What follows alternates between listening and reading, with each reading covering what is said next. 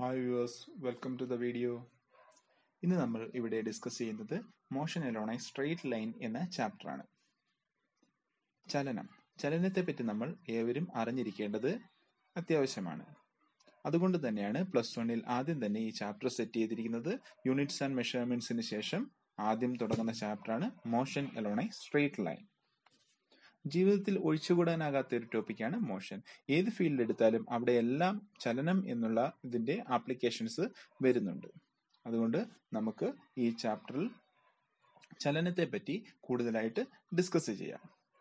നമ്മൾ മെയിനായിട്ട് one dimension two dimension three dimension ആണ് പഠിക്കുന്നത്. മൂന്ന് ചാപ്റ്റർ ആയിട്ടാണ് ഈ ത്രീ ഡയമെൻഷൻ മോഷൻ വരെ നമ്മൾ ഡിസ്കസ് ചെയ്യും motion along a straight line എന്ന ചാപ്റ്ററിൽ ഇത്രയും ടോപ്പിക്സ് ആണ് നമുക്ക് ഡിസ്കസ് ചെയ്യാനുള്ളത്. ഇതുകൂടാതെ ടോപ്പിക് ബേസ് ചെയ്ത് പ്രോബ്ലവും പ്ലസ് എൻട്രൻസ് ഓറിയന്റഡ് ലെവൽ പ്രോബ്ലംസും നമ്മൾ ചെയ്തു പോകുന്നതായിരിക്കും. ഈ വീഡിയോയിൽ മെയിനായിട്ട് നമ്മൾ ഇൻട്രഡക്ഷൻ സെക്ഷനാണ് കാണുന്നത്. Motional on a straight line എന്ന എന്ന ചാപ്റ്ററിന്റെ ഇൻട്രഡക്ഷൻ ഇവിടെ നമ്മൾ ഡിസ്കസ് ചെയ്യുന്ന topics point mass frames of reference motion and rest one dimension two dimension three dimension motions and rectilinear motion എന്ന ടോപ്പിക്സ് ആണ്. ആദ്യം തന്നെ പോയിന്റ് ഓബ്ജക്റ്റ് അല്ലെങ്കിൽ പോയിന്റ് മാസ് എന്താണെന്ന് നോക്കാം.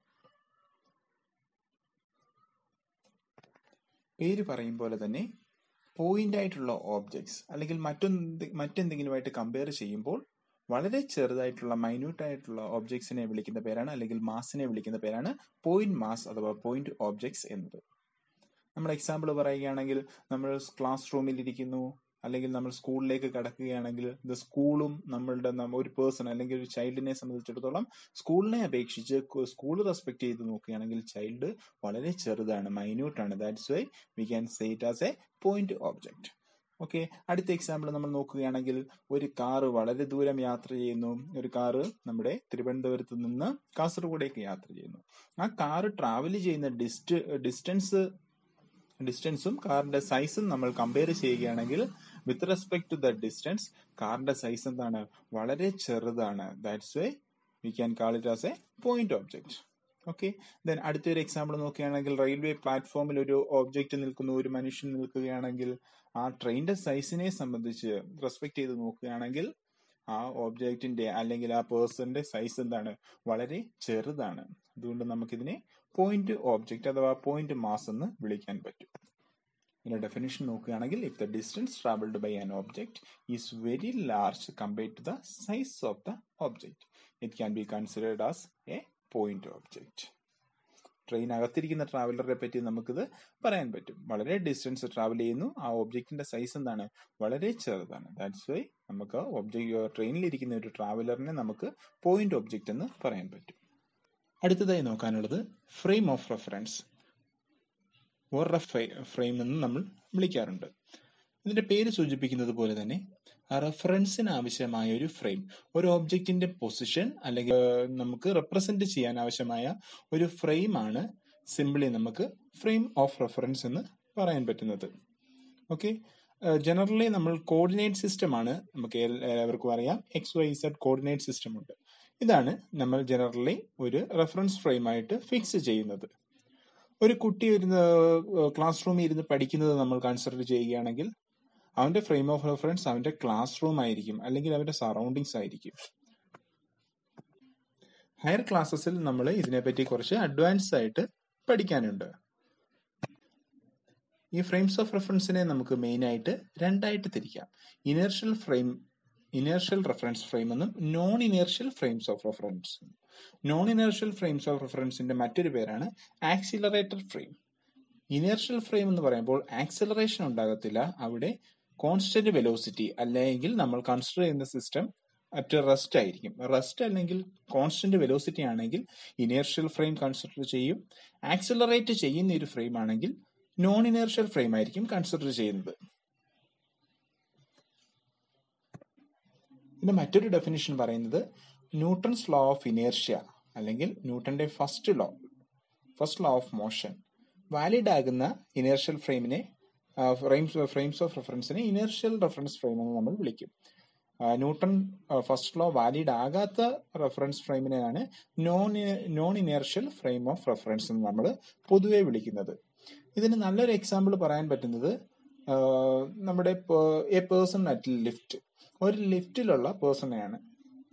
അപ്പോൾ ആ ലിഫ്റ്റിൽ ഇരിക്കുന്ന പേഴ്സണെ സംബന്ധിച്ചിടത്തോളം ആ ലിഫ്റ്റ് ആയിരിക്കും അവന്റെ reference frame.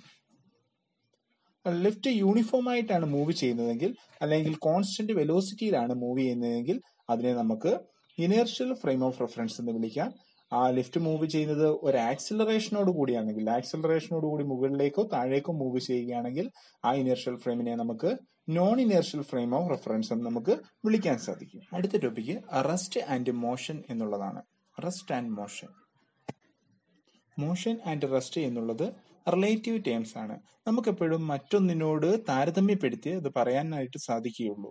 With respect to something ഇപ്പൊ റെസ്റ്റ് നമ്മൾ ആദ്യം ഒരു ട്രീ കൺസിഡർ ചെയ്യുകയാണെങ്കിൽ it is at rest with respect to its surroundings നമ്മൾ എർത്ത് എന്നുള്ള ഇനേർഷ്യൽ ഫ്രെയിം സെറ്റ് ചെയ്യുകയാണെങ്കിൽ ഫ്രെയിം ഓഫ് റെഫറൻസ് സെറ്റ് ചെയ്യുകയാണെങ്കിൽ ട്രീ എന്തിനാണ് റെസ്റ്റിലാണ് ബട്ട് സൺ ആണ് നമ്മൾ ഫ്രെയിം ഓഫ് റെഫറൻസ് സെറ്റ് ചെയ്യുന്നതെങ്കിൽ the tree is at motion ആണ് മോഷൻ എന്നാണ് മോഷൻ എന്നാണ് പറയാൻ പറ്റുന്നത്. അപ്പോൾ ഇത് ഒരു റിലേറ്റീവ് ടേംസ് ആണ്. റെസ്റ്റ് ആൻഡ് മോഷൻ എന്നുള്ളത് റിലേറ്റീവ് ടേംസ് ആണ്. If the body changes its position with respect to surrounding is called motion and does not change its position with respect to surrounding surroundings is called rest. ഇവിടെ ഒരു tree consider ചെയ്യുകയാണെങ്കിൽ പറഞ്ഞല്ലോ അത് റെസ്റ്റിലാണ്. Then ഒരു object ഒരു car നമ്മൾ consider ചെയ്യുന്നു. The car is initially at rest with respect to that tree. Okay then car move ചെയ്യുന്നു. ഒരു പൊസിഷനിൽ നിന്ന് അതിന്റെ ഇനിഷ്യൽ പൊസിഷനിൽ നിന്ന് ഫൈനൽ പൊസിഷനിലേക്ക് മൂവ് ചെയ്യുന്നു.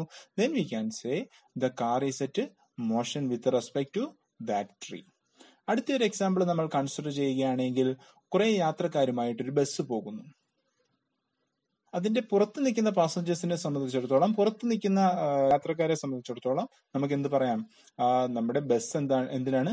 മോഷനിലാണ് ബട്ട് അകത്തുള്ള പാസഞ്ചേഴ്സ് പരസ്പരം നോക്കുകയാണെങ്കിൽ ദേ ആർ അറ്റ് റെസ്റ്റ് അവർ റെസ്റ്റിലാണ് പുറത്താണ് നമ്മൾ റെഫറൻസ് ഫ്രെയിം ഫിക്സ് ചെയ്യുന്നതെങ്കിൽ ദേ ആർ അറ്റ് മോഷൻ അകത്തുള്ളവരാണ് എങ്കിൽ അകത്താണ് റെഫറൻസ് ഫ്രെയിം ഫിക്സ് ചെയ്യുന്നതെങ്കിൽ ദേ ആർ അറ്റ് മോഷൻ എന്ന് നമുക്ക് പറയാൻ സാധിക്കും. With respect to that buildings bus and passengers are at motion okay നമുക്ക് മോഷന്റെ ഡെഫിനിഷൻ നോക്കാം. The object changes its position with respect to its surroundings with time അതിനാണ് motion എന്ന് പറയുന്നത്. അങ്ങനെ ഓബ്ജക്റ്റ് മൂവ് ചെയ്ത് ചെയ്യുകയാണെങ്കിൽ നമുക്ക് പറയാം the object is at motion with time എന്ന് കൂടി പറഞ്ഞല്ലോ. ടൈമിനെ നമുക്ക് ഒരിക്കലും പിടിച്ചു നിർത്താൻ സാധിക്കാത്ത ഒരു ക്വാണ്ടിറ്റിയാണ് അതുകൊണ്ട് the objects changes its position with respect to its surrounding with time is called then the object is called at motion then just opposite to it rest, the object does not change its position with respect to its surrounding, surroundings is called rest. അടുത്ത് നമുക്ക് നോക്കാനുള്ളത് എന്താണ് one dimension two dimension and three dimension motion എന്നുള്ളതാണ്. One D two D and three D motion okay ഒരു object straight ലൈനിലൂടെ move ചെയ്യുകയാണെങ്കിൽ അങ്ങനെയുള്ള മോഷനെ നമ്മൾ വിളിക്കുന്ന പേരാണ് വൺ ഡയമെൻഷൻ മോഷൻ ഒരു ഉറുമ്പ് പോകുന്നു അല്ലെങ്കിൽ ഒരു ട്രെയിൻ പോകുന്നു. സ്ട്രെയിറ്റ് ലൈൻ മോഷൻ ആണ് എങ്കിൽ സ്ട്രെയിറ്റ് ലൈനിലൂടെയാണ് അത് പോകുന്നതെങ്കിൽ നമുക്ക് വൺ ഡയമെൻഷൻ മോഷൻ ആണെന്ന് പറയാം. ഓക്കെ നെക്സ്റ്റ് വൺ അടുത്തത് ടു ഡയമെൻഷൻ ടു ഡയമെൻഷൻ എന്താണ്? ഒരു പ്ലെയിനിലെ മോഷനെ നമ്മൾ വിളിക്കുന്നവരാണ് ടു ഡയമെൻഷൻ മോഷൻ ഉറുമ്പിന്റെ കേസ് പറഞ്ഞല്ലോ. ഒരു ബുക്കിന്റെ മുകളിലൂടെ ഒരു ഉറുമ്പ് എഴഞ്ഞു പോകുന്നു. അതെങ്ങനെയുള്ള മോഷനാണ് സ്ട്രെയിറ്റ് ലൈൻ മോഷൻ അല്ല എങ്കിൽ അതിനെ നമുക്ക് ടു ഡയമെൻഷൻ മോഷൻ എന്ന് വിളിക്കാം. ഓക്കെ ടു ഡയമെൻഷൻ മോഷന്റെ പ്രത്യേകത ഒരു പ്ലെയിനിലായിരിക്കും. Motion in a plane is called two dimension motion motion in a straight line is called one dimension motion അടുത്തതായിട്ട് ത്രീ ഡയമെൻഷൻ മോഷൻ അതിന്റെ എക്സാമ്പിൾ നമ്മൾ പറയുകയാണെങ്കിൽ ഒരു ഈച്ച ഈച്ച പറന്ന് നടക്കുന്നു അല്ലെങ്കിൽ ഒരു മൊസ്കിറ്റോ പറന്ന് നടക്കുന്നു. അതെന്താണ്? ഒരു സ്പേസിൽ നടക്കുന്ന സംഭവമാണ്. ഒരു സ്പേസിൽ നടക്കുന്ന കാര്യമാണ്. Motion in a space is called three dimension motion one dimension മോഷന്റെ കേസിൽ നമുക്ക് നമ്മുടെ കോർഡിനേറ്റ് സിസ്റ്റത്തിൽ ഒരൊറ്റ ഒരു ആക്സിസ് മാത്രം മതി അതിന്റെ മോഷനെ അല്ലെങ്കിൽ അതിന്റെ പൊസിഷനെ റെപ്രസെന്റ് ചെയ്യാനായിട്ട്. അത് സ്ട്രെയിറ്റ് ലൈൻ മോഷനാണ് ദെൻ ടു ഡയമെൻഷൻ മോഷനകത്ത് അവിടെ നമുക്ക് രണ്ട് കോർഡിനേറ്റ് ആക്സിസ് വേണം ടു റെപ്രസെന്റ് ദ മോഷൻ ഒരു ബോർഡിൽ ഒരു അധ്യാപകൻ എഴുതുന്നു എഴുതുന്നു. അതെന്താണ്? അതൊരു പ്ലെയിനിൽ നടക്കുകയാണ്. അവിടുത്തെ പ്ലെയിൻ ആ ബോർഡാണ് ബോർഡിൽ എഴുതുകയാണെങ്കിൽ എക്സ് ആൻഡ് വൈ ആക്സിസ് വേണം നമുക്കതിനെ ആ മോഷനെ റെപ്രസെന്റ് ചെയ്യാൻ. ദെൻ ത്രീ ഡയമെൻഷൻ മോഷൻ പറഞ്ഞല്ലോ. അവിടെ മൂന്ന് ആക്സിസുകൾ വേണം ആ സിസ്റ്റത്തെ അല്ലെങ്കിൽ ആ മോസ്കിറ്റോയുടെ പൊസിഷൻ അല്ലെങ്കിൽ മോഷനെ റെപ്രസെന്റ് ചെയ്യാൻ നമുക്ക് മൂന്ന് ആക്സിസുകൾ ആവശ്യമാണ്.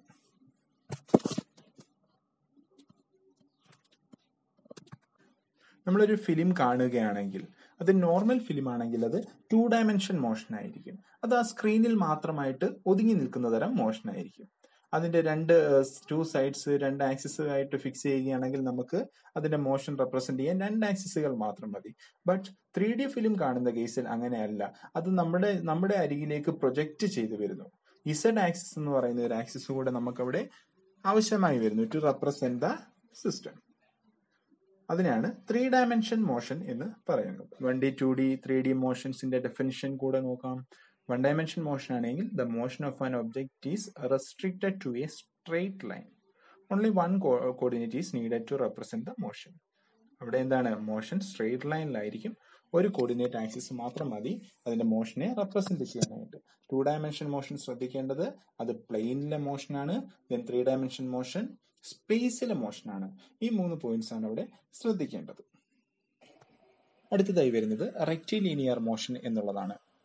വൺ ഡയമെൻഷൻ മോഷന്റെ മറ്റൊരു പേരാണ് rectilinear motion rectilinear motion one dimension motion motion in a straight line ഈ പേരിലെല്ലാം നമുക്ക് പറയാം. ഓക്കെ എന്താണ് വേർഡ് മീനിങ് എന്ന് നോക്കാം? റെക്റ്റി പ്ലസ് ലീനിയർ മോഷൻ ആണ് റെക്റ്റിലീനിയർ മോഷൻ ഓക്കെ ലൈനിയർ എന്ന് പറയുന്നത് ലൈനെ റെപ്രസെന്റ് ചെയ്യാനാണ്. Linear means line rectilinear means straight line straight line മോഷനെ വിളിക്കുന്ന പേരാണ് ലീനിയർ മോഷൻ ഇവിടെ ഒരു കാർ ഡയറക്റ്റ് ആയിട്ട് ഹൊറിസോണ്ടൽ ഹൊറിസോണ്ടൽ മൂവ് ചെയ്യുകയാണെങ്കിൽ നമുക്ക് എന്ത് പറയാം? അതൊരു റെക്റ്റിലീനിയർ മോഷൻ ആണെന്ന് പറയാം. ഈ ഫിഗറിൽ നിന്ന് തന്നെ നമുക്ക് മനസ്സിലാക്കാം. റെക്റ്റിലീനിയർ മോഷൻ അടുത്തതായി ഇത് കറക്റ്റ് ഹൊറിസോണ്ടൽ പാത്തിലല്ല. കുറച്ച് ഇൻക്ലൈൻഡ് ആയിട്ടുള്ള പ്ലെയിനിലൂടെ കാർ മൂവ് ചെയ്യുകയാണ്. അത് റെക്റ്റിലീനിയർ മോഷൻ ആണോ? അല്ലയോ എന്ന് നമുക്കൊരു ഡൗട്ട് വരും. നമുക്ക് പെട്ടെന്ന് ചിന്തിക്കും അത് അതിന്റെ മോഷനെ റെപ്രസെന്റ് ചെയ്യാൻ നമുക്ക് രണ്ട് ആക്സിസുകൾ ആവശ്യമാണ് എന്ന്. ബട്ട് അതൊരു തെറ്റായ ചിന്താഗതിയാണ്. അതും വൺ ഡയമെൻഷൻ മോഷനാണ് മോഷനിലോണ സ്ട്രെയിറ്റ് ലൈൻ ആണ്. അതും റെക്റ്റിലീനിയർ മോഷന് എക്സാമ്പിൾ തന്നെയാണ്. ഇവിടെ നമ്മളൊരു കാര്യം ശ്രദ്ധിക്കേണ്ടത് ഇവിടെ കോർഡിനേറ്റ് ആക്സിസ് ഫിക്സ് ചെയ്യുന്നത് നമ്മളാണ്. അത് ചരിച്ചോ എങ്ങനെ വേണമെങ്കിലും നമുക്ക് ഫിക്സ് ചെയ്യാം. ഒറ്റ കാര്യം ശ്രദ്ധിക്കുക. എക്സ് ആൻഡ് വൈ ആക്സിസ് അല്ലെങ്കിൽ ഇസഡ് ആക്സിസ് തമ്മിലുള്ള ആംഗിൾ എപ്പോഴും എത്രയായിരിക്കും? നയന്റി ഡിഗ്രി ആയിരിക്കണം. ഓക്കെ എല്ലാ സ്ട്രെയിറ്റ് ലൈൻ മോഷൻസിനെ നമുക്ക് ഒരു റെക്റ്റിലിനിയർ മോഷൻ എന്ന് പറയാനായിട്ട് സാധിക്കും. എക്സാമ്പിൾ ആയിട്ട് പറയുകയാണെങ്കിൽ നമ്മുടെ സ്റ്റഡി ബോർഡിന്റെ നമ്മുടെ ക്ലാസ് റൂമിലെ ബോർഡിന്റെ റൈറ്റ് അപ്പർ കോർണറിൽ നിന്ന് ലെഫ്റ്റ് ലോവർ കോർണറിലേക്ക് ഒരു സ്ട്രിങ് വലിച്ചു കെട്ടുക. ദെൻ ആ സ്ട്രിങ്ങിൽ ഒരു സ്ട്രിങ്ങിലൂടെ ഒരു ആന്റിനെ വിടുക ഉറുമ്പിനെ വിടുകയാണെങ്കിൽ ആ ഉറുമ്പ് സ്ട്രെയിറ്റ് ലൈനിലൂടെ ആയിരിക്കും മൂവ് ചെയ്യുന്നത്. നമ്മൾ പെട്ടെന്ന് ചിന്തിക്കുന്നത് എക്സ് ആൻഡ് വൈ ആക്സിസ് വേണം എന്നൊക്കെയാണ് but it is a straight line motion it is a rectilinear motion thanks for watching entrance oriented ക്ലാസ്സിനും problem പ്രോബ്ലംസിനുമായി ചാനൽ സബ്സ്ക്രൈബ് ചെയ്യുക താങ്ക് യു